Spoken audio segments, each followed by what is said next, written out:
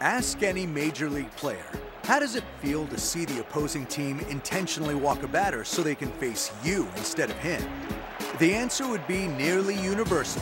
It's a sign of disrespect. And on July 12, 2001, Ricky Gutierrez made the White Sox pay on the first pitch he saw.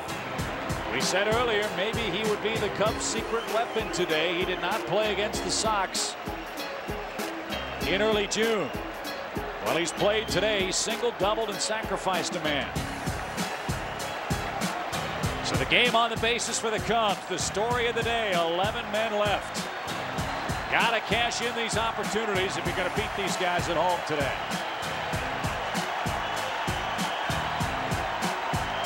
Swung, high fly ball, deep toward left field. Lee back,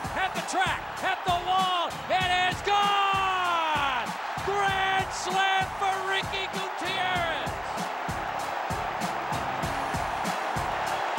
First career grand slam for Ricky Gutierrez, and he got all over a first pitch from Bobby Howry, and the wind shifts a little bit and helps the Cubs out. He very nearly hit a home run his first time up. Remember, he sent Lee into the ivy.